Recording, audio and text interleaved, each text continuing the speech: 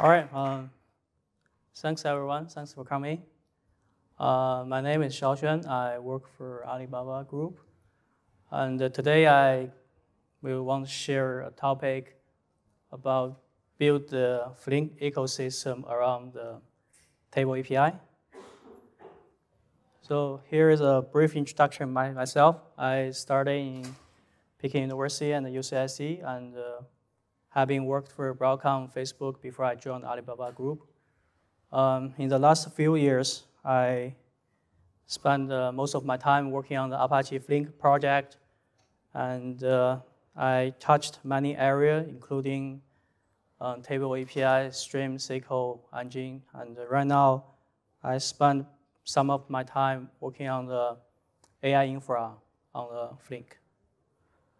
Oops, it goes fast. Uh, okay, the, the talk is about the um, building the Flink ecosystem around Apache Flink Table API. So let's look at the uh, Flink ecosystem. So here's my observations. So uh, Flink is the most uh, sophisticated open source uh, stream computing processors. Uh, many users, companies use Flink to build their stream applications. So, um, so those applications usually subscribe the, uh, the data from the upstream queue, a different uh, messaging queue, and process it, and will send out to the send the result to the downstream queue, or some other storage system, HBase, Cassandra, Elasticsearch. Um, there are also some um, machine learning project like Mahout and Apache SAMOA uh, is using Flink, but per our observation and the survey, uh, we still view Flink. So currently, most users using Flink still as a stream engine. But as you know, the intelligent big data computing is emerging, right? It's getting hot and hot. So in this area, so what's happening is based on the different company, a lot of companies based on the big data infra. Uh, in old time, they use uh, business intelligence, where it's using the batch or the stream for the ETL. They build their, their uh, data lake and for data analysis. So data analysis will present to their customers or their management team to understanding how well the business it is and how the data distribute looks like. But in the recent years, artificial intelligence grows very fast. So we have observed that almost all the problem of the business intelligence can be solved by the artificial intelligence. If the company has not used art, uh, artificial intelligence to solve the problem, it's mainly because two reasons. One is uh, their data could be very small. It doesn't need to using AI to solve the problem, or it's hard to use it. Or the company lacking the experience of techno technologies to understanding how to use AI technology to solve their problems. So, but we do see the, the trend that AI is replacing a lot of business. And it should be also noticed that the AI, even using the AI, it cannot go without the BI. That doesn't mean when the AI booming that BI is coming down. It's actually when the AI booming, the, the, the, the, needed for the BI is increasing because on the AI part, the AI engineer uh, usually just to figure out the features and models. How they figure out the right feature and the models, they using the BI tools, understand the data, find out the right features for the AI training, for the AI prediction. So both BI and, sorry, I don't know why it's going automatically. But so both BI and AI is booming, that means. So then the question is, can we use Flink to build the intelligent platform for that? So probably yes. And uh, because uh, the AI computing, the fundamental problem is based on the data processing. And if we can unify the Flink to support both the batch and streaming processing, then we will have the unified processing platform. And for the AI computing part, if we can provide the, the clean and the well abstracted the API for let the user, the AI engineer to write the libraries and uh, for them to use it easily, and also solve the problem to integrate also recently very hot the, the deep learning engines. So I don't think I need this. All right. Deep learning engines uh, integrate the deep learning engines with uh, Flink. That will definitely help the Flink integrate with AI computing. So that's very promising, we think. That means the future of the Apache Flink, uh, instead of just streaming computing, the, batch processing is a must to have, and also the AI computing we need to enhance. And except those two, and we see also the needed for uh, improving user experience by adding the support with different notebook like the Zeppelin and the Jupyter, right? So, and on the deployment, uh, except the currently existing Yarn and the Mesos, we think, uh, that's weird. Why, why is keep going? Um, we also need to support the container-based Kubernetes. So this is the my observation for the uh, future Flink ecosystem. Next, I will explain why we think this ecosystem better built around the Flink table API. So first of all, um, Flink table API is a declarative API with a natural optimization framework. So uh, if you attend the keynote in the morning, that both uh, Stephan and Xiaowei mentioned that the table API become the first citizen of the Flink. And uh, in the next generation release, we will deprecate the DataSet. Well, the, both the SQL and table API will not translate to data stream and DataSet. It will directly trans to the lower API, the stack API. So and uh, with this architecture, so one single API setup, we will well support both the streaming and the, and the batch. It's just two different mode. The user configured mode of the job.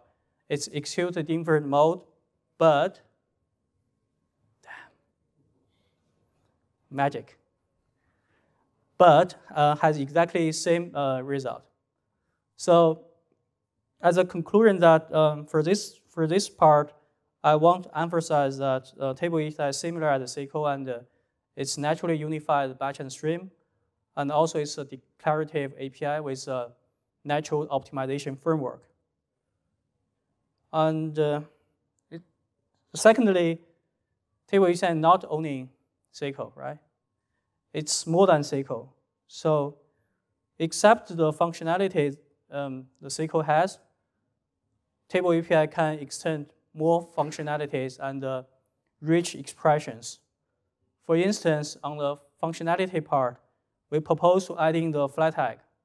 So if you're familiar with ANSI SQL, so ANSI SQL has uh, three UDF functions. So those three functions basically can help you to transform a row to a cell, which is UDF, and a, a row to a table is UDTF, and a table to a cell, which is UDAF but there's no transformation function help to transform the table to table. So we're adding the flag tag, so basically help the user.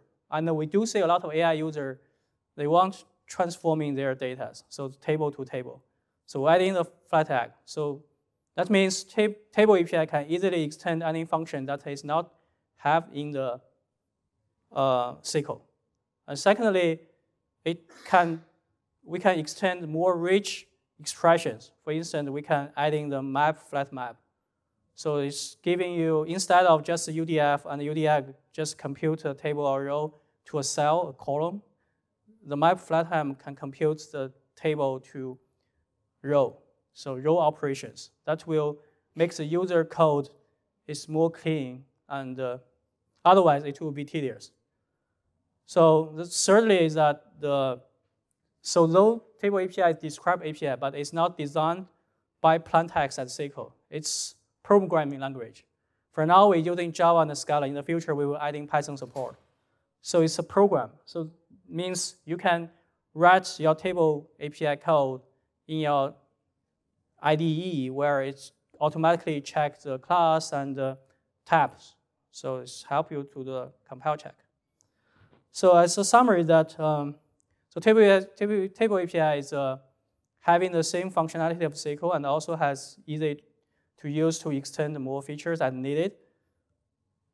But unfortunately, we see that it's not sufficient enough to support all the AI and the batch uh, needed. So for instance, all the new features we are adding to the table API, including the map and the flat map, flat arc, column operations, all of those.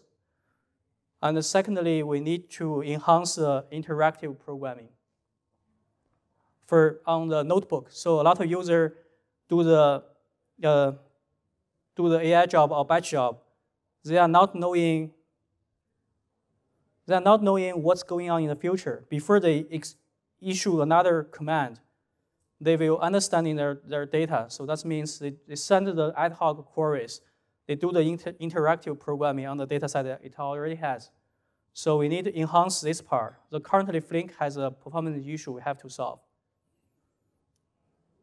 And all the other part is related to the AI computing, including the iterations and the, uh, we need to well integrate and provide a better interface for machine learning user, AI user to use the existing or introduce new machine learning library and the deep learning the engines well integrate.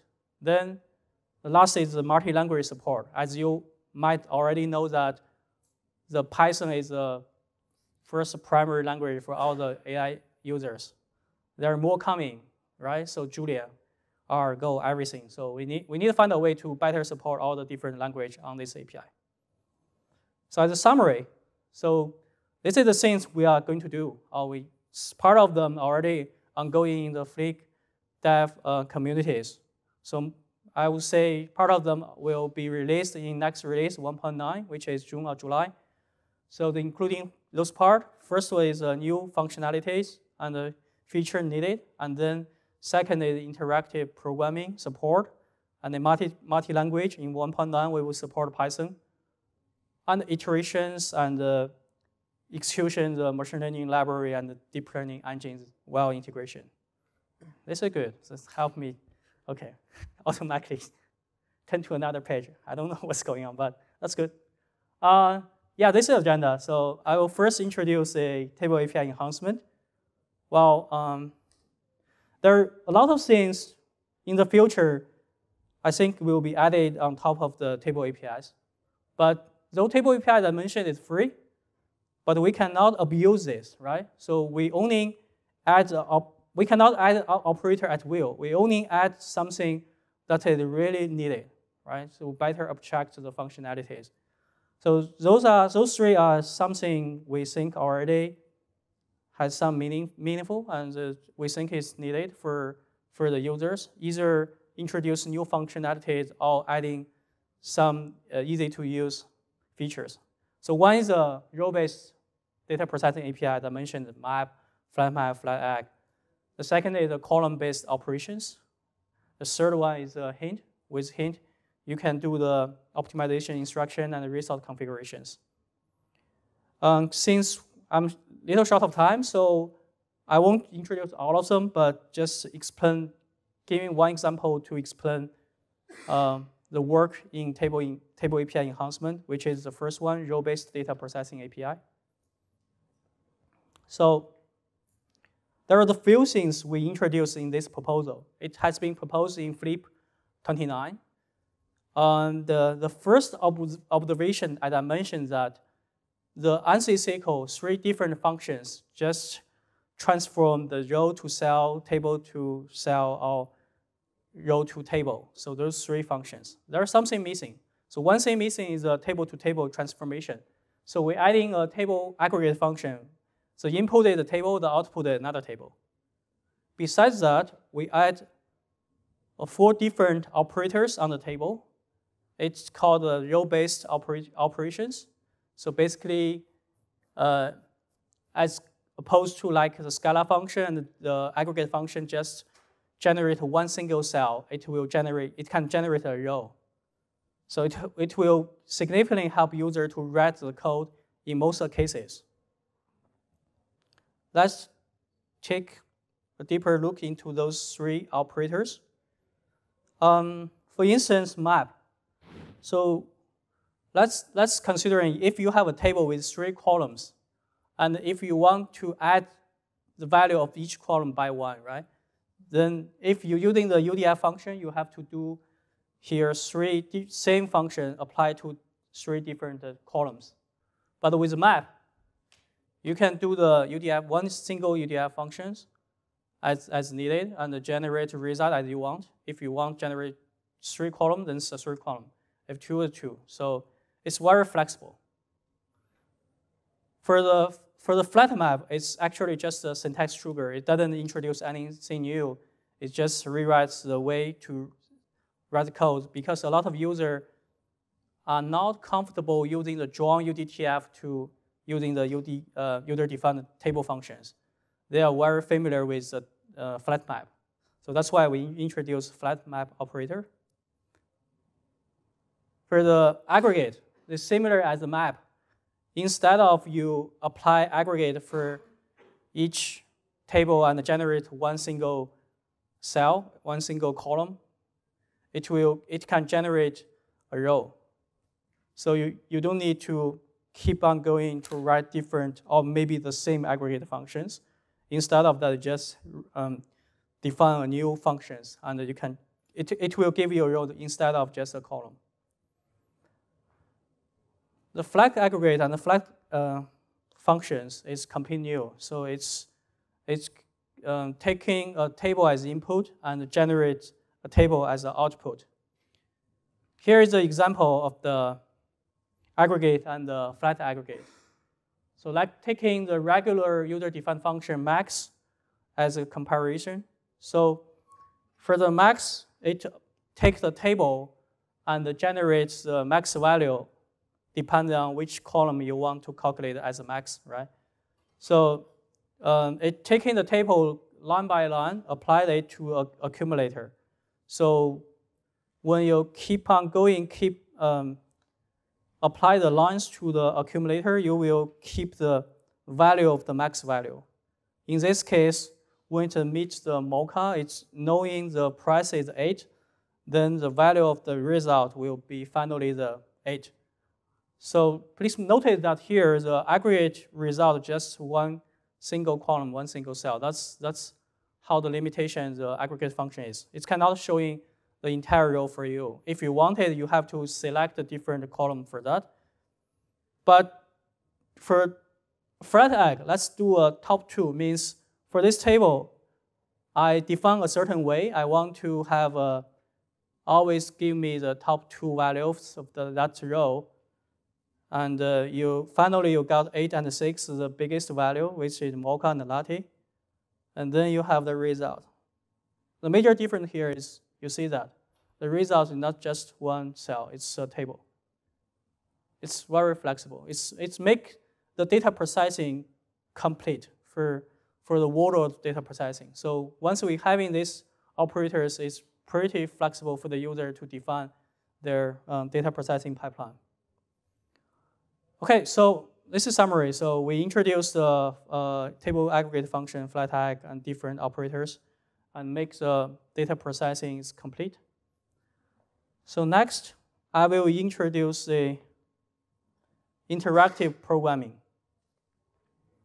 So what is interactive programming? It's actually nothing. So it's if it's not in the distributed system, if you're writing Java Scala code, you are not knowing that you write the interact program. It's like the debugging, right? So you, you do something and you hook the debugger there and you run the code over there and you see the result. That's what we call ad, hoc or interact programming. Let's see one examples.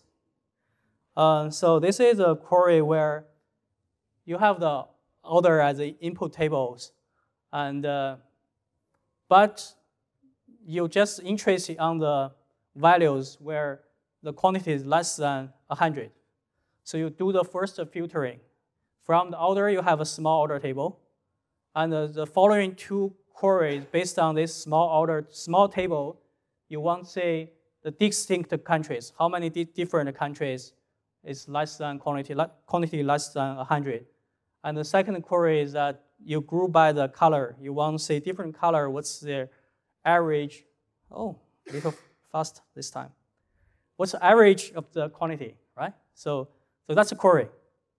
So current Flink has a problem, not a problem. It, it, it returns you the correct result, but has the performance issues. Let me explain. So let's use the currently Flink uh, engine to process that query, what, what's happening, without an introduce any cache or external storage.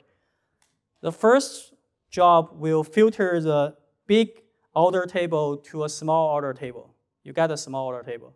That's job one. You have the result. But when you kick, kicks another job, second job, you do the you do the distinct. You want to know the the different countries and the, where the order is less than 100. Then what's really happening? You submit the job, and the job will second job will all the way, you know, calculate from the beginning of the first job. And here the job one will be recomputed. It won't reuse the result of the job one. That's a problem. So similarly for the job three, it still also reduce, uh, it won't reuse the job one, it's recompute the small tables and then do the aggregate, whatever, grouping by color and find out the average values. So because the job are independent and isolated in Flink system, it will introduce redundant computation. So what's a currently, so what's the solution for the current user? I see a lot of user introducing another external storage, let's say HBase, HDFS, Redis, whatever. You have external storage, and you write the code for the first job. You generate the small orders, and you write to the external storage. And the second job, it's diff complete different job. You have to modify your code. You have the source table and the sink table for each job, and you have the new source table from the small order, and compute from there. And uh, instead of recompute the orders, you directly load the small orders.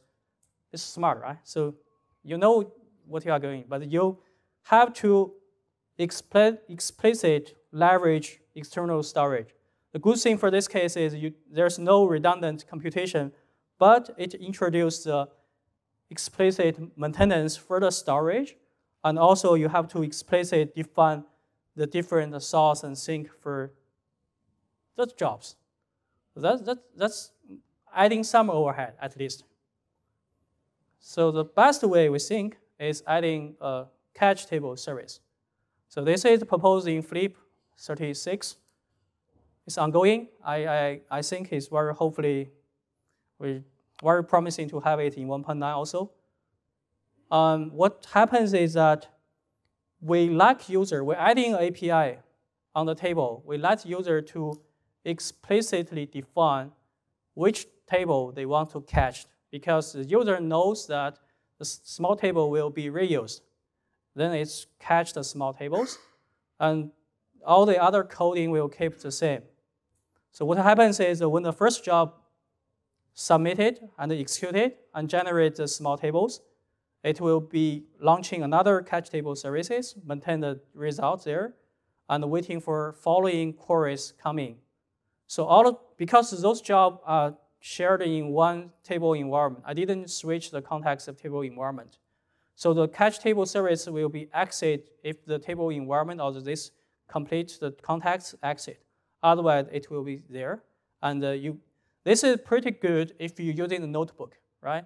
So if you have experience using notebook, you basically launch the notebook and do, do the query one you, and cache it. And uh, later on, you come back and do some queries and keep on going. You never, you, the reason you're using notebook is you're doing some experiment, you're doing some study, you're doing some uh, analysis. If your workflow is, uh, is static, then you do not need a, notebook. You're just uh, using the regular scheduler for launching a job periodically, right? So this is very useful for interactive programming. So um, this is the approach we have proposed. And the good thing is uh, the jobs share the same context and there's no external storage at all, and uh, giving you a better performance. Because this storage is maintained by the Flink engines. It can leverage locality technologies to avoiding the network IOs. So it's much better than external storage. So this is API we are going to add. It's very simple, right? So the, this piece of code comparing the previous one is just adding one smaller cache. That's it. Then magically give you better performance. Okay. So next is about the multi-language support on table APIs. I will first introduce uh, one example, how we plan to add Python on table API. Then I will introduce the approach to adding other language. So please remember that I, I, I, I pretty sure a lot of people confuse about the API and the language. So uh, API is a syntax. So no matter which language apply to it, so API and the language is orthogonal. Let's say we have the table API, or data stream. So it can use a different language to implement. So the it's especially for the table and the SQL cases, it's descriptive, descriptive uh, APIs. So just help the user to describe their business logic. The user doesn't care about. So for, for example, if there's you have customer, they have no idea about programming at all. They just telling you do this, do that. That's called the business logic. That means it give you the instructions want you to write the code in such a way as the API defined it. But the language is completely different. So language is what language, which language you are going to use to program. So the API is logic, and the language is just a tool apply to this API, we can keep adding different language to support the same API. So we already have the Java and Scala. We are going to add Python on the table API. Um, so there's two part basically for all the different um, API on, uh, language on table API. There are two part. One part is uh, uh, just supporting the description of the language. Um, for, for instance, for this case, Python. So um, before it's executed or submitted to the uh, Flink cluster, we just using the one by one translation, syntax translation from the Python program to Java API. So the real, uh, real jar package, real uh, binary code executing the class is nothing related to Python. So just using Python API describe your logic, and then we translate to the Java and then execute it. What he executed in the class is a stream graph, is that graph. The, the, the part that is more difficult is a Python UDF. So the, because UDF, the user-defined function, there's the certain code and de defined in a certain way. The compiler is difficult to understanding the logic inside the UDF.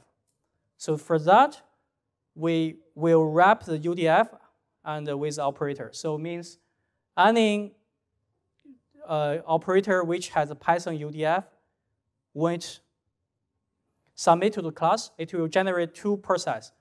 One is a Java process, the other is a Python process. The Java process is same as a Java UDF. What it does is just a hook to the entire Flink job.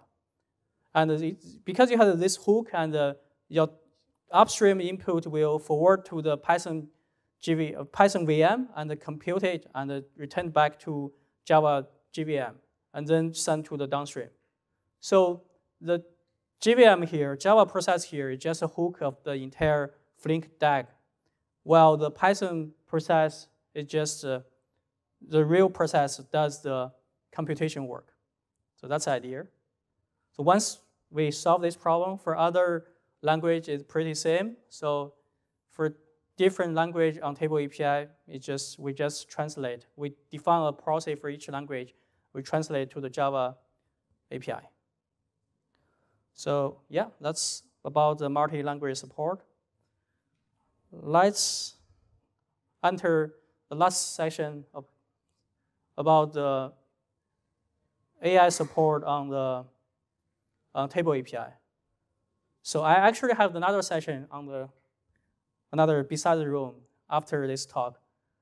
Um, So I will just give brief introduction on this part.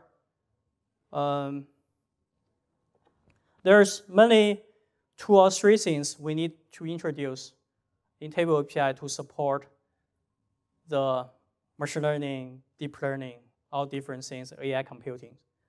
So the first one is the machine learning pipeline. So machine learning pipeline is actually the idea brought by scikit-learn. And uh, it, in that paper, it, it explained and introduced and defined a several concept, which is uh, estimator, transform, and model. So transform is uh, data processing. And the estimator is a component which takes the training job. So if you have an input and send it to the estimator, it will train the data and generate a model. So the model and the transform will be used for the future inference and the prediction. The difference is that the model is a result of the estimator, while the transform is that does not have the input parameters. So that's the concept. So, but here the work need to solve basically two problems.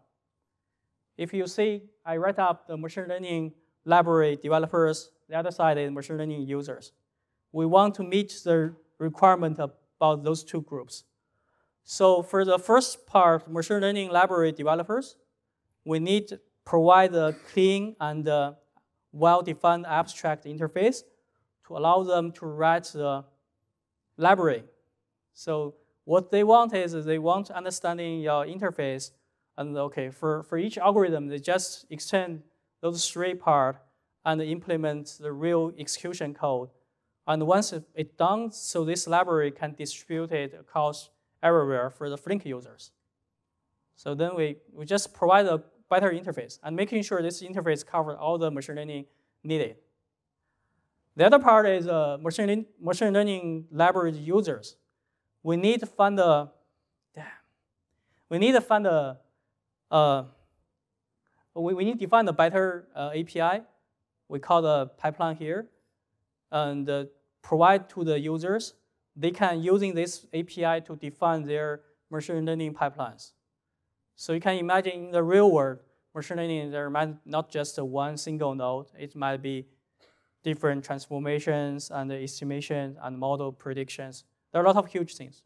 And uh, for this case, um, the input and output, we're using the table API because this will allow the user to do the data processing, ETL things, before it enter to the machine learning pipeline. That means business intelligence and artificial intelligence will be connected naturally on one single API.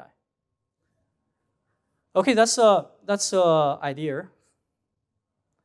And uh, another thing is about deep learning pipeline on Flink. So if you look at the deep learning pipeline, so users, the AI engineering, they usually does is they using the get the data from the source and do the processing transformation and do the model training and then validate using this model to validate the result and making sure the result is correct. If it, if it's not as expected or not as, as good as he expected, it will tuning the parameters, tuning the model, and do the training again. So for the training and the validation, even deployment, user has majorly two choices. One choice is the machine learning library I introduced in the last page. The other choice is some dedicated um, deep learning framework engines like the TensorFlow or PyTorch. So if it's using TensorFlow, the problem is that you have Flink set up in one environment, and you have TensorFlow set up in a different environment. How are you going to connect those, switch the data? So you have to set up different environment, or even badly you have different cluster, and then there is a queue of data storage. You have to switch. You have to write something to the queue, and another environment subscribe that. That will be introduced the overhead of the First of all, maybe latency. Secondly, abuse of the storage. Is that especially for the real-time machine learning pipeline, it's not necessary for doing that. So we have the technology to solve it. And if you're interested, maybe half an hour later, just enter another room. I will introduce those two parts with more details. Summary. Um, yeah, this is about the talk I gave today. So first of all, Table API, we, we will introduce more and more features. So one thing is the Flip 29. It's, I'm pretty sure it will be released in 1.9. And the Interact programming is also uh, 36, Flip 36 and Flip, Flink 1.9. And the multi-language support here, we will introduce Python in 1.9. Machine learning pipeline API will definitely contribute back to 1.9. And the deep learning pipeline, we are still discussing where we, in which format, in which way we are going to open source it. So, questions. And welcome to Flink Forward Asia in Beijing, December 2019. Thank you. If anybody has any questions, I can run the mic over. So what's the overhead when you need to support other language like Python? Now you have gateway, you need to transfer Sorry, what's data. the overhead of? uh, supporting like other language like Python? Because now you need to transfer data between the Java process and the uh, Python VM. Yeah, uh, the overhead, if you're using Python UDF, is that uh, the data input and output, it has to be serialized, deserialized. Uh, there are different ways. If the data is pretty small, I think the socket is good enough because the kernel will bypass the, the transformations. But if the data is big, like the batch processing, it's better to using Apache Arrow kind of technology as alternative. Yeah. That's some, definitely something need to solve there and improve there. Yeah, but 1.9 we'll have it working and then we'll keep on going, improve the performance. Um, so since you right now you have uh, the multi-language support in you want we want the multi-language support in Table API. I mean, do we consider like uh, apply similar technique also to provide multi-language support on the data stream API? Um, I mean, of course, there might be like uh, some performance uh, sac sacrifice, but I mean, uh, similar to Storm, right? Storm also has like a multi-language support. Sure. Um, so yeah. Yeah, that has been discussed. Um, if you are interested, you can contribute. Its community is short of efforts for now. Yes, definitely, we will enhance the multi-language API on data stream, yes. So that's, that's definitely yes, but yeah, we need like, like the more effort helper to working on that part. yeah. Any other questions? All right. Well, thank you so much. Thank you.